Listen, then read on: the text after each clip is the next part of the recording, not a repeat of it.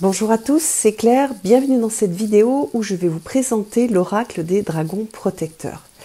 Alors je vous avais déjà fait il y a plusieurs années une review euh, de l'oracle en anglais qui est euh, The Oracle of the Dragon Fée, euh, qui est un des oracles que j'aime beaucoup de Lucy, de, Lucy, Cavendish, pardon. Et ce que je vais faire, c'est que je, vais vous montrer donc la traduction française et je vais vous montrer aussi qu'il y a beaucoup de cartes qui ont été modifiées. Alors les cartes anglaises qui ont été modifiées, elles, ont, elles avaient déjà été modifiées dans certains jeux euh, en anglais, c'est-à-dire que très souvent dans, ces jeux-là, il y a une version, euh, celle-ci c'est voilà, une version Blue Angel, et puis je crois que l'autre ça doit être une version Beyond the Worlds ou euh, Hay House. Donc sur, sur le jeu en anglais, il y a déjà deux versions. Et je crois que la, la, troisième version, la version en français, est encore un petit peu différente au niveau des tours. Donc voilà, on va regarder cette version française qui est très jolie, vous allez voir, et euh, je montrerai en même temps les cartes de la version anglaise. Alors, donc, quand on ouvre le jeu, on a donc une très belle boîte avec un peu de, purple, de violet à l'intérieur. On a un livre, vous voyez que le livre est assez gros, ça fait partie des anciens euh, tarots, enfin anciens oracles. Euh, de Lucy Cavendish et elle faisait des livres plus gros que ce qu'elle fait aujourd'hui. Et on a globalement un petit peu cette tendance euh, dans les nouveaux oracles qui sortent où on a des, livres qui sont plus petits que dans, dans les anciens. Alors, après, hop, on va sortir les cartes. Donc, on a, ça c'est magnifique dans l'édition en français, on a des bords dorés qui brillent. on a un tour vous voyez, qui est euh, un tour un peu, euh, comment dire, jaune avec un petit dessin. Et puis on a les illustrations. Le dos, c'est euh, cette image-là.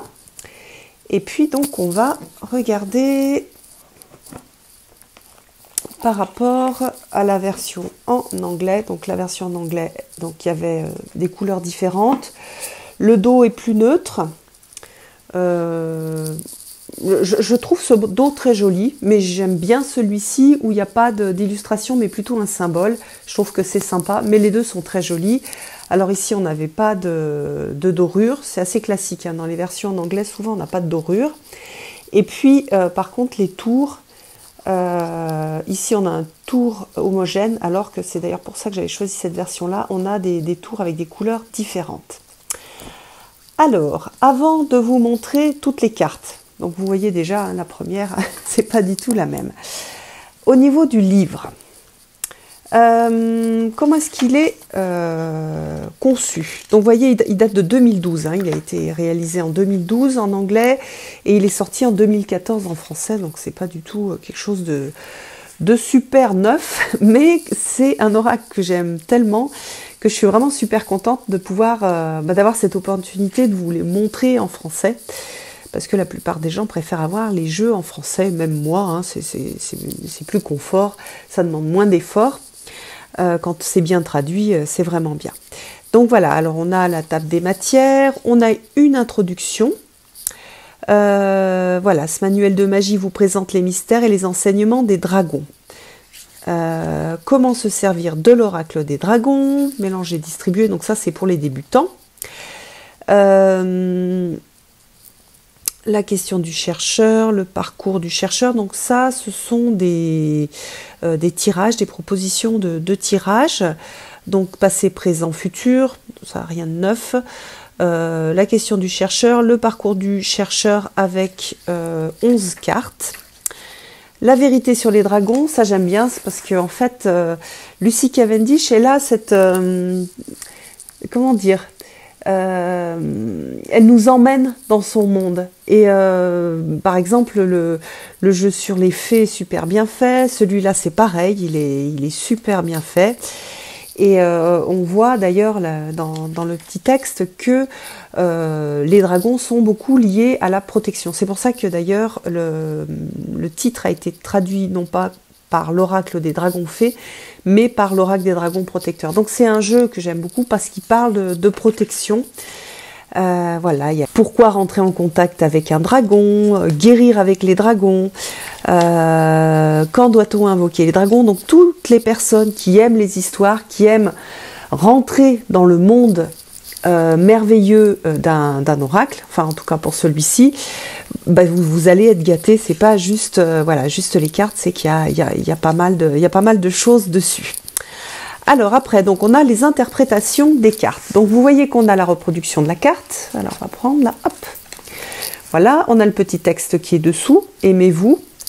Et puis, pareil que dans ces autres jeux, elle fait parler le personnage de la carte. Donc là, il y a Mélusine qui vous parle. Euh, à propos de Mélusine, et puis, euh, la signification divinatoire, travailler avec Mélusine. Et puis, le nom de l'artiste, puisque euh, ce, cet oracle a la particularité d'avoir un artiste différent par carte. Enfin, là, ici, on, a, on va dire, il y, a, certains artistes, comme ici Jimmy Manton, qui ont fait plusieurs cartes, d'autres...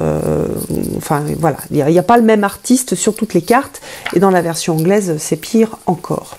Enfin, c'est pire. c'est encore, il y a encore plus ça. Voilà. Alors maintenant, on va regarder les cartes. Donc, euh, je trouve que euh, vous allez voir dans la version en français, on a beaucoup plus d'unité parce que euh, bah parce qu'on a on a moins d'artistes. Alors qu'ici, dans la version en anglais, on a plus d'artistes. Alors, donc là, on a euh, Mélusine, donc euh, Ginny Manton, qui a fait énormément d'oracles, que je vous ai présenté d'ailleurs. J'ai même fait une vidéo pour vous montrer tous les oracles qu'il a réalisés, que j'ai. Donc voilà, dans, les derniers, il y a l'oracle d'Aradia, il y a l'oracle des Vikings. Euh, donc il, a, il, a, fait vraiment pas mal de, choses et, il a une façon de dessiner que j'aime beaucoup et notamment son utilisation des couleurs et de la lumière. Euh, qui est plus ou moins euh, visible dans certains oracles, mais dans celui-là, je trouve que c'est euh, vraiment très bien fait. On a, on a une très belle mélusine.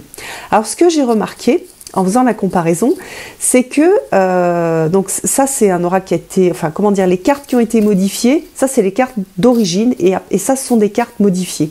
Elles ont été modifiées et elles ont été faites, vous voyez, avec les mêmes symboles. C'est-à-dire qu'on va retrouver, on retrouve ici donc les les petites euh, sortes de petites ailes. Là, on a des, euh, des plantes. Vous voyez qu'on a la clé ici. Euh, on a le, maquillage des yeux. on vous allez voir qu'on va retrouver sur la majorité des cartes qui ont été redessinées par Jimmy Manton les mêmes choses que sur la carte d'origine. Alors l'avantage de Jimmy Manton, c'est qu'il fait des choses très belles, que du coup on a quelque chose de plus unifié dans ce jeu-là. Euh, l'inconvénient, c'est que ben, quand on a euh, soit un certain âge, soit euh, comme moi, soit un corps qui ne correspond pas forcément aux représentations, parfois on peut avoir plus de difficultés à s'identifier à un personnage comme ça, ou à visualiser ce personnage, qu'à un personnage plus, comment dire, plus dessin en fait. Voilà. Alors, donc voilà, Mélusine, Lady Graham, donc là c'est la même. Euh, ouvrez votre cœur. Vous voyez que le traitement de la couleur aussi est différent. Ici, on a quelque chose de plus. Il y a plus, de contraste. Ici, c'est plus doux. Il est magnifique cet oracle, je, l'adore. D'ailleurs, je vais garder les deux, l'anglais et le, et le français, parce que j'aime vraiment beaucoup les deux. Les amoureux. Apalala vous êtes pacifique. Lady Titiana, réjouissez-vous. Très belle carte aussi. Alors là, une des cartes modifiées. Donc on a euh, la grand-mère magie. Donc vous voyez qu'on a les, ailes de, papillon, on a les, couleurs aussi. Et ici, elle tient euh, une, sorte d'orbe avec un personnage et on retrouve en fait euh, l'orbe avec le, papillon. C'est sympa, hein? Je trouve c'est vraiment sympa ce qu'ils ont fait. Du coup, on a l'impression d'avoir deux jeux différents.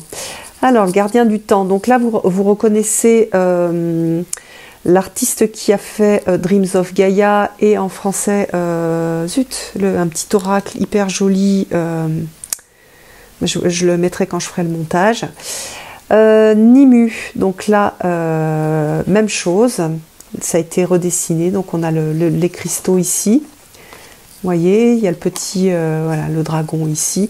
On retrouve en fait les, éléments, mais qui ont été redessinés, réinterprétés par, par Jimmy Manton. Voilà, Morgane l'a fait, même chose. Donc euh, quelque chose de plus, euh, on va dire, plus livre d'enfant. Mais, moi qui me parle beaucoup, j'aime bien. Hein. Et euh, quelque chose de plus, voilà, à la sauce Jimmy Manton, peut-être plus adulte, plus jeune fille. mais qui, c'est, voilà, c'est super, super joli. Hein. On a bien ici le, le dragon. voilà. Bon, là, on n'a pas l'épée qui a été remise, mais enfin représentée. Super joli. Bon, ça j'adore. c'est Tony Carmine Salerno. On a la reine Onag. Super beau. Attendez, je vais pas trop les avancer parce que faut que je fasse euh, la netteté. La reine Mab. Voilà, donc là, euh, les couleurs sont pas respectées, mais on a euh, oui, non, on a moins de choses. Hein. C'est vrai que là, c'est pas tout à fait la même illustration. Ein et le protecteur. Donc là, on retrouve hein, vraiment l'énergie et le, dessin. Lady Alfreda.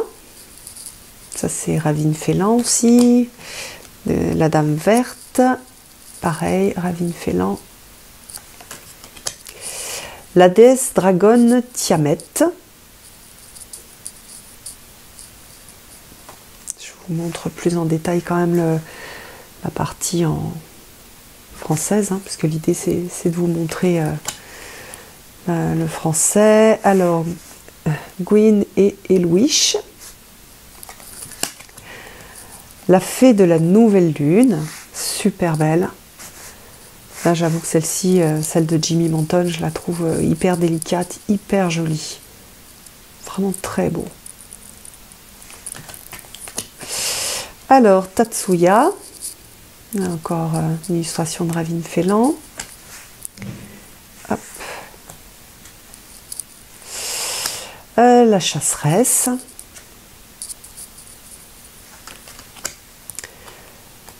le pendragon. celle ou celui qui écoute. La morigane. Encore une modification. Les amants à la fête. Donc on a, on retrouve hein, le couple. On retrouve le couple. On retrouve euh, la fleur. Le, les verres C'est vraiment super joli. Alors c'est un jeu euh, qui, certaines personnes pourraient dire oui mais il n'y a pas les mêmes illustrateurs, est-ce que ça gêne? Moi franchement ça ne me gêne pas.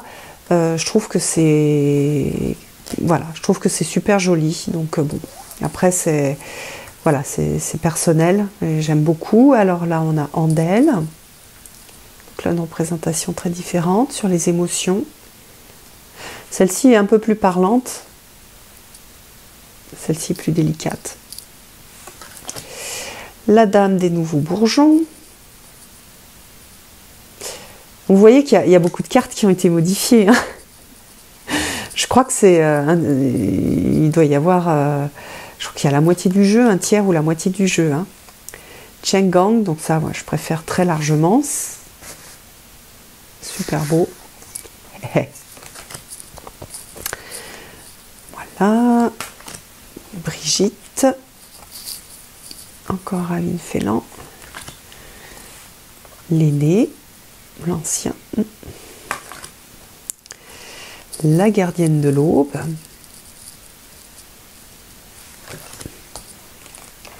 la magie de Lénie Luna, toujours Ravine Félan, là aussi j'adore. Celle-ci, elle est trop jolie, c'est hyper beau.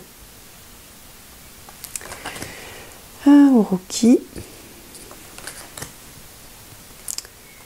Oroki, Là, on retrouve le, l'illustrateur de, de l'oracle des fées. Le dragon de Gaïa, la souveraine, la dame en bleu, les tuteurs, les gardiens, les dragons de la Renaissance, trapeuse de rêve et Fernia.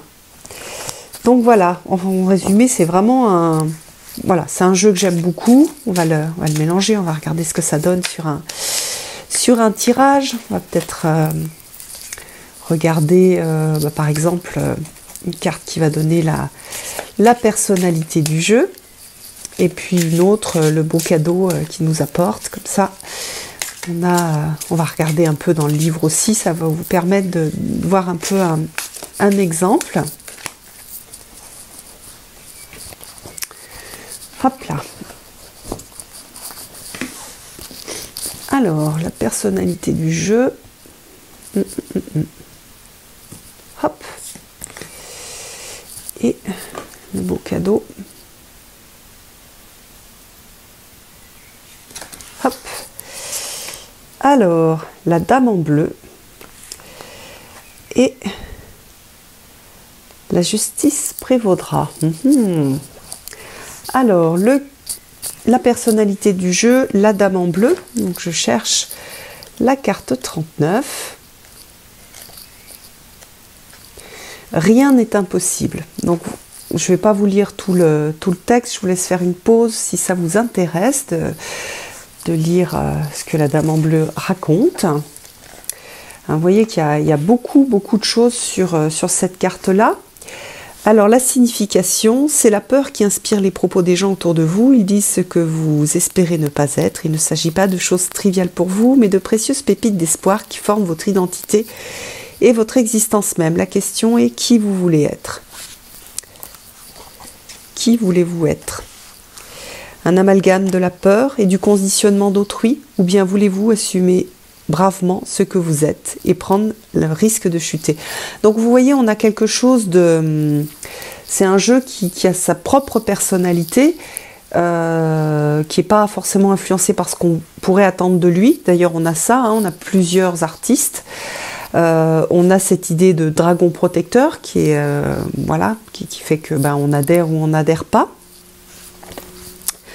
Donc voilà, il y a cette idée de, liberté et euh, et de courage d'être soi-même. Et euh, le, cadeau, c'est Lady Alfreda. alors, Lady Alfreda.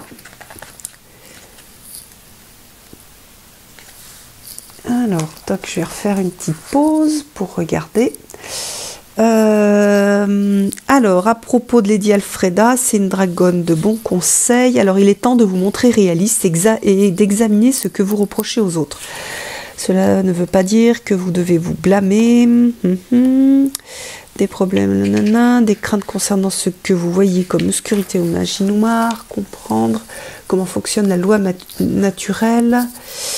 Alors, cette carte demande d'examiner vos propres intentions voilà, donc ça va être un jeu qui va permettre d'examiner ses intentions, de clarifier son, euh, ses zones obscures et de faire ami-ami avec votre ombre.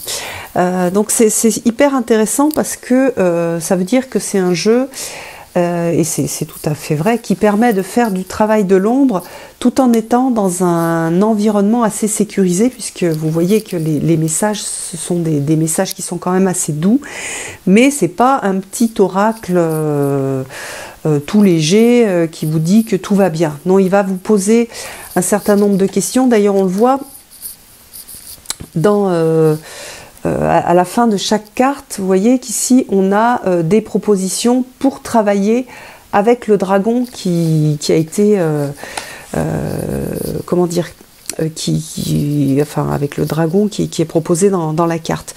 D'ailleurs, le fait que ce soit des dragons, c'est pas toujours, comment dire, c'est pas des dragons comme on l'entend.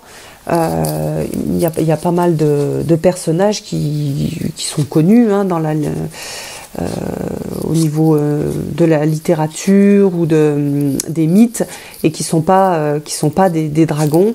J'ai pas cherché à discuter le monde merveilleux dans lequel ce, jeu nous amène. Ce que j'ai cherché à faire, c'est surtout me laisser porter par ce monde merveilleux et puis profiter de, tout ce qui peut apporter de beau donc euh, au niveau des illustrations et des propositions de, travail. En tout cas, c'est vraiment un, oracle que, j'aime énormément. Euh, voilà, j'ai passé beaucoup beaucoup de temps bon, avec l'autre surtout, puisque j'avais pas le français. Et, euh, et puis, et puis on se, fait plaisir hein, quand on va mettre